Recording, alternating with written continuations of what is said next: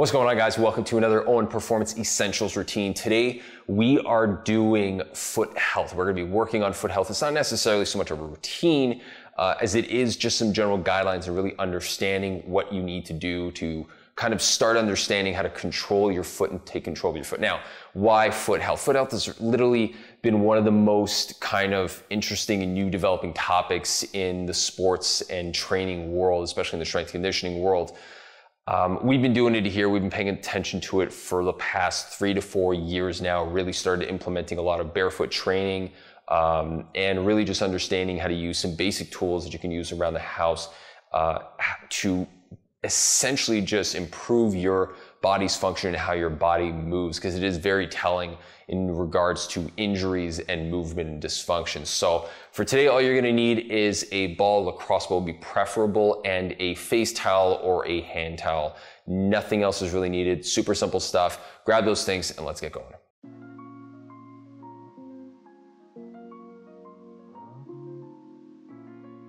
So the first phase of understanding how to take care of the feet is soft tissues, really improving the tissue quality of your muscles in your foot. Now, the muscles that are gonna be in your foot that we're really gonna focus on today are gonna be the bottom portion of your feet. So it's what's creating that arch that we all know of. And you've probably heard this collapsing arches, uh, you know, inverted feet, you know, collapsing in, not stable. You know, you've either heard of kind of some pain syndromes like Achilles tendonitis, plantar fasciitis. All of these things are basically just dysfunctions of the foot. You've got a poor functioning foot. And the reason for that is simply because the footwear that we're using, for the most part, the, foot, the footwear that we're using is compromising our body's ability to understand and go and recruit the important muscles that are underneath the feet. This is extremely common, not just in athletes, the everyday individual, you know, whether you work in an office or not, this is a huge, huge component because usually the footwear we're wearing, whether it be high heels, dress shoes, you know, some types of sandals are actually kind of compromising too because the straps that are over the side push us in. So even shoes that might seem unrestricted are actually causing more problems. And on the other side, if you're using running shoes, the most common running shoe are actually quite restrictive in nature because what they're doing is they create that arch under the foot. That is restricting the body's natural ability to go and flex and get some elasticity out of the foot, which I'm gonna talk about in a bit. And we're gonna be working on some exercises to help with that. And also what it's going to do is it's going to restrict the toes. It's gonna push the toes in to become tighter. It's gonna create a huge heel lift. And a lot of these things are just unnatural for the way our body functions. We wanna be able to create that natural spring and natural elasticity out of the foot. So reducing the amount of restrict, restriction in your shoes is actually what's gonna allow you to move forward and actually become a much better athlete or even just move without having pain or be able to stand up without having foot pain. So First thing we're gonna do is start working on the tissue under the feet, so basically the muscles, fascia. How we're gonna do that is very simple. You're going to grab a ball. It doesn't have to be a lacrosse ball. This is a lacrosse ball. I, that's what we use here. It's just simple because sometimes we have dogs that run in here and they just like to chew on something and usually we just toss the ball around. They literally can't break this thing apart. Secondly, it's because the ball doesn't slide underneath my foot. When I put my foot down on this ground, most, for the most case, for the most part, like all the balls we've used on this rubber flooring are, you know, they're not gonna slide around, but if you're at home and you have a ceramic floor, tile floors, you have hardwood floors, laminate flooring, these are all gonna be really tough to roll, let's say a tennis ball on, or a, or a baseball, or a softball, or even one of those like orange hockey balls. That's why I usually go with a lacrosse ball. Sporting goods store, you can find them literally not more than five bucks. Like you don't even need a competitive one. It just needs to be something that's hard enough, rubber, so that it's not gonna slide around the ground. Now, what you're gonna do, we're gonna take the ball and we're gonna start working on releasing the tissue that's underneath the foot. And what, mainly, what we're gonna be working on is everything that's just below the forefoot and leading right up to the heel. So this basic box that I'm drawing under my foot here, that's what we're gonna be working on. So you're gonna start by taking the ball, you're gonna place it underneath or just, just behind the ball of the foot, the forefoot there, where that kind of knuckle is. And what we're gonna do is put our weight into our heel, Start by applying pressure into your heel because you don't want to apply pressure all the way through and onto your toes because if you're if it's really sensitive, it's gonna be painful and you're probably gonna do more harm than anything. So if you want to start by just applying pressure on your heel and as you become more tolerant of the pain, you can start working forward onto it and as the weeks go on, you, it'll become a lot less painful until you're really able to just kind of like drop right on that foot and apply all your pressure on. So we're gonna go and basically we're just gonna roll from the inside of my foot to the outside of the foot. It doesn't matter if you're going from outside or inside or if you're mixing this up. It doesn't really matter if you start from the heel and work your way forward. Just, just for guidance so you can understand why I'm doing this is so they can make sure we cover all the muscles. So what I'm doing is I'm just kind of rolling back and forth. I'm basically pivoting off my heel. Now, as I pivot off my heel, I'm gonna slide forward. I do it two or three times. I'm gonna slide forward and I'm gonna go again. And all I'm gonna do is just work my way to my heel, working my way back to my heel, and I'm basically just releasing all the tensions on my foot. Now, I can really drive my foot right on and it, it, doesn't really bother me that much because I've been doing it so long. But if it's still painful, just to make sure to kind of lay off it a bit and you're just go a little bit slower so you can really make sure you find those areas that might be a little bit more sensitive. Usually the sensitive areas are gonna be towards the inside of the foot and just behind that big toe. So when you've gotten basically the majority of the foot, you're gonna be missing just that portion towards the heel. So what we're gonna do is we're gonna switch it up. We're gonna put our, basically our toes down and we're gonna use our toes now to pivot and we're gonna roll, basically do the same thing, rocking back and forth and go to just just in front of that heel bone, that kind of the bone that you feel when you're applying pressure on. You're gonna notice it you kind of run from the muscle and you kind of notice that bone right there. We're gonna stop right there. We don't need to apply pressure on that bone. And then what we're gonna do is we're gonna do the inside of the foot. So I'm gonna take my weight, shift it to my opposite foot with the inside of the foot towards the ground here. So you guys can see it from the side a bit better. I'm gonna apply the pressure inwards like that, and I'm just going to roll the inside of my foot. This may be sensitive for someone who has like a collapsing arch, as they would say. Collapsing arch is just basically just a knee that's caving in because you're lacking the proper awareness of where to apply pressure on your foot. Usually that's caused, caused by it's, it becomes like kind of a slippery slope. Once we've done that, we can switch feet, go to the other side, and we're gonna repeat the exact same thing. You wanna spend about two minutes, two or three minutes per side. You wanna do this twice a day for about two weeks before you start really noticing a difference. Okay, so for collapsing arches, I don't want to get into a lot of the injuries because a lot of these could be, you know, related to 20 or 30 different things. So it really takes a kind of a, you know, takes hands-on approach to really know. But this sequence that we're going through for the most part is going to be a great starting point because you are going to need to work on your feet. If chances are that you, if you have that collapsing arch and you're getting knee pain or you're getting plantar fasciitis from this collapsing arch, you're basically going to want to run through this kind of system, this entire routine uh, just to at least get that main foundational component down because I talk a lot. I'm to be talking a little bit more about, you know, the, the key points to kind of retain from that. So what that's kind of ha what's happening when your foot is collapsing inwards is that you're releasing pressure on the foot. You're releasing pressure on even that's not no longer evenly distributed. Because of that, your foot's your knee's caving in. When your knee caves in, you're just allowing that tension to kind of work its way up to your knee or potentially in towards the inside of your foot. So your body's not able to really sustain that amount of high volume of tension in those areas, you're gonna start noticing pain. That's what causes that tendon inflammation, essentially just tendonitis.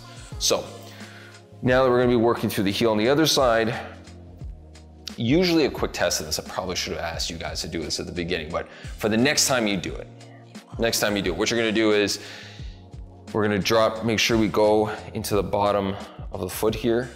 So the next time you go to do this, especially if you've never done this before, try just checking to see, do, do a basic toe touch where you're gonna try to stand up straight. I'm gonna show you in a couple seconds. You're gonna reach up, try to touch your toes.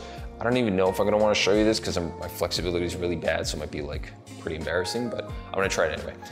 Usually what'll happen is you carry a lot of tension just from your hamstrings and all the fascia that goes up the back of your body that's allowing you to really just touch your toes. You carry a lot of that tension in your foot. So just releasing the bottom of your foot is releasing all that tension. It's actually allowing you to gain that flexibility. So it becomes like almost like a false flexibility, but it's just releasing tension. So if I were to go and do it normally, I would be stuck kind of like there. I release my foot and I can come down. Oh God, I could touch my toes. That was painful.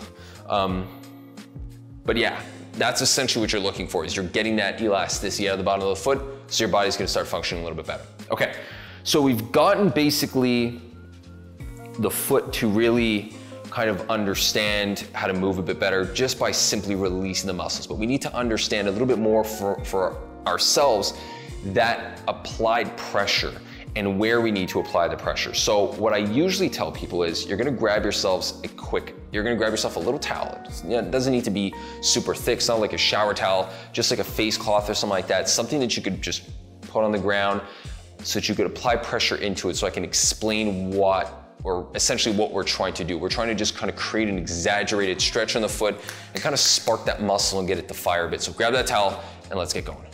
Okay, so you've grabbed your towel. Now, usually what we do here is we have like wedges where we'll be able to stick it under certain areas of your feet and help guide you into applying pressure, which is more of just an awareness of your foot to understand where you should be applying the pressure. Now, before we do this, just drop the towel on the ground for a second. What I want you to do is I want you to start understanding, or maybe even just with your hands, I found this to be very helpful. It's just draw it out on your foot. So you're gonna be looking to apply pressure here, basically straight across. So this bone is the edge, your inside of your foot here, and your heel. These three points right there is really what you're looking for in terms of pressure. Now, basically, if you're, what that means is if I'm standing straight up and I'm applying pressure on both feet, or I'm trying to get pressure onto one foot. Let's say I'm putting my foot down and the majority of my pressure goes onto one foot. I want to be aware of where my pressure is on my foot. So, am I applying more pressure on the outside of my foot near the pinky toe? I'm applying pressure more on the big toe or am I all the way on my heel and I notice that it's like a lot of pressure is on my heel and basically nothing is on my toes. Okay, and when we notice where our pressure is, that's gonna dictate where we're gonna put this towel. Usually, for the most part, this is what I'll usually see. It's kind of like a raised, I'll show you on this side of the camera here. So I'll see kind of like a raised foot. I'll get kind of a collapsing in, too much pressure on that outside foot. So what I'm gonna do is I'm gonna apply a little bit of a dump onto that side. And to do that, what I'm gonna do is I'm actually gonna apply, I'm gonna take the towel, I'm gonna open it up. It doesn't have to be super high. I'm just gonna apply the pressure down there just to kind of lift that side up to stretch it out so I understand where that is. And then what I'm gonna do is I'm gonna go wide here and I'm gonna lean in. So I'm gonna go back foot out wide, front foot here, and all I'm doing is I'm leaning in applying pressure, rotating, and what I'm looking to do is start just becoming aware of that. The towel is not gonna be so much under the foot to be compromising the arch. What I do is I'm creating that elasticity, so I'm gonna be driving in and closing. So my hip starts straight, as I start opening up, my hip faces out and away. So what I'm doing is I'm not, if you notice from the side here, I'm not driving it way over, I'm just applying a little bit of pressure forward, and I'm really trying to get the pressure to go into the outside. I'm trying to make sure I feel the outside bone as well as the inside bone here. The other thing I'm trying to do is make sure my knee tracks over my big toe. I don't want my knee to cave in. I don't want my knee to go over the center of my foot, which makes no sense. It's not gonna be going over my toe. When I'm walking straight, I want my knee to line straight over my big toe because that's where all the power is coming out of. When you're pushing, it's coming right out of the big toe. It's the last place all that power comes out of. So that's where you want, that's what you want lined up with your knee and with your hips. You want that nice streamline right here. So to make sure we do that, just be mindful of where your knee is. Is it going straight over your the big toe or is it caving in or are you going straight over the smaller toes? If you were applying pressure outwards, usually what will happen is if someone's doing like an exercise where they're standing up straight on one leg, they'll they get this kind of, let me show you from the side here, they'll get this kind of rise in their foot, okay? So if that's the case, if that's what you're feeling, very simple, you just take the, you just take the, uh, take the towel, you're gonna apply pressure underneath that area, right underneath that portion of your foot. And again, I don't know if you notice it, but from the side here, it's literally just a bit of my big toe. So it's not much, I'm not getting it midway up the foot. I'm really just getting that toe, just enough of a lift on that toe. And what I'm gonna do is I'm gonna do the same thing. I'm gonna apply pressure there, get into my stance, driving forward and pressing it. Now, you're gonna wanna do about 10 of these. That's it. 10, maybe 15 if you want, just to get the hang of it. It's quite easy for me so I can kind of fly through it. I don't really need to do much of this because I've got that understanding. So I generally will fly through it now and again just to kind of reset it, especially sometimes when I'm wearing like, you know, casual walking shoes outside that might not have a favorable arch support um, you know, if I'm wearing skates a lot, or if I'm wearing soccer shoes, something that's gonna be a little bit more restrictive, I'll kind of go through this just to do like a quick reset a couple of times. So again, you're gonna do this on both sides, but what you're doing is not assume that if what's happening on one side is gonna be happening on the other side.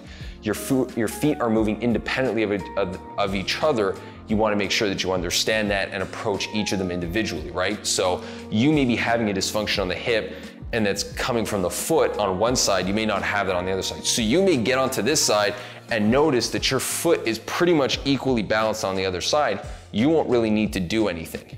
Now, once we've done that, we're gonna keep this towel and we're gonna start just building the understanding of the muscles under the foot to create some kind of crunching pattern. So basically you're doing towel crunches. Now, one of the things that I've noticed with this is uh, it's really done passively. So they drop the pressure back. So I don't know if you notice this, I'll show you guys from this side here, is that when they're doing the exercise, we usually stand back here and just kind of go and treat it almost like, yeah, it's just kind of like you're flicking your toes. But that's what we want to do. We want to be able to understand how to do it with our weight pretty much over the foot. So stand straight over it and then start doing your towel crunches. So what you're gonna do, lay your towel out and you're gonna apply that pressure over your foot from here and you're just gonna grab and pull. It doesn't matter that you actually don't grab your towel. You're really just trying to create that, that kind of grabbing, that clawing movement. Basically, if you were at a beach and you were just trying to feel the sand under your foot by scraping and pulling it in, which is something that all of us do for some reason, it's very weird. I noticed that everyone does it. I mean, I may have if I'm the only one that does it, this is gonna be really weird because I'm basically telling everyone who's gonna be watching this that I go into the sand and just, anyway, basically what you're gonna wanna do is make sure that you're kind of just grabbing the towel and bringing it towards you. I would say literally just whatever the size of a hand towel is or face cloth or whatever it is, grab it, just try to bring it in. If it's a face cloth, it's about half this size. So just do that twice. If not, if it's like a nice hand drying towel, not a nice one, but a hand drying towel, uh, definitely don't use a nice one. Hand drying towel, just do that whole thing once. You'll be more than fine. You're gonna do it on both sides. There's a very high chance it's, you know, if you're wearing restrictive shoes, you may not notice like an instability from one side to the other, but what you will notice is you may notice a little bit of a difficulty in this just basic movement here. So once we've done that, we're gonna start incorporating some stability exercises. So don't need the towel anymore. What we're gonna do is we're gonna put one foot forward, put one foot back, and all we're gonna do is just get comfortable on the foot. So you're gonna drop down and you're gonna apply pressure on that foot.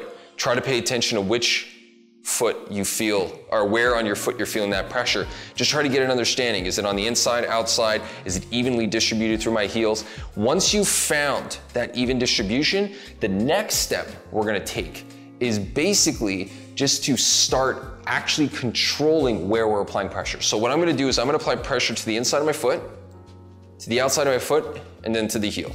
Inside of my foot, outside of my foot, heel. We're gonna do that three times. So inside of my foot, outside of my foot, heel.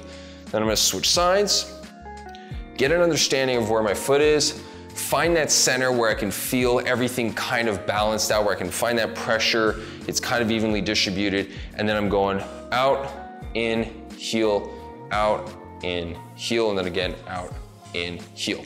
We wanna move the knee as little as possible while we're doing this.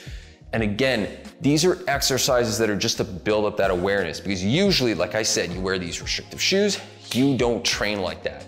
So you wanna build up that, that awareness. So these are basically, I've shown you like three or four little tools that you're gonna do on a daily basis by releasing the foot, gaining some awareness, nothing crazy. And again, with the lunges, you don't have to drop that deep. You can literally just kind of go in a split stance, get a little bit of pressure into that front foot, and then just kind of go through it. This can also be done on a single leg, kind of a half squat position. You can go into a single leg deadlift position. It really doesn't matter. It's just understanding. And the better you get at it, the more you practice at it, the better you get at it, you will start noticing drastic improvements from squatting, lunging, jumping, running, pain tolerance, pain levels, tissue quality is gonna change. You might end up cleaning up some dysfunctions up through the hips and in the knees. This is something I want all of my athletes to start working on. This is what we do here at Owen Performance. We give them a lot of tools like this to really be able to understand how to stabilize the foot and how to understand how to take care of your feet. Three or four exercises. Get these done weekly, at least weekly for the first three to four weeks, and then which, uh, sorry, daily for the first three to four weeks and then you can drop them to about every second day or something like that, except for the foam rolling, or sorry, the soft tissue work under the, under the foot. Keep that, keep that thing religious. I do it every single morning before I wake up because I spend a lot of my time here barefoot. You know, I spend a lot of time standing up with clients, so I wanna make sure that my body's not being compromised and I have a good base of support underneath me. All right, guys, if you have any questions down in the comment section, send us an email, let us know what your questions are, and we will get those answered. Until that next time, guys, take care. Have a great day.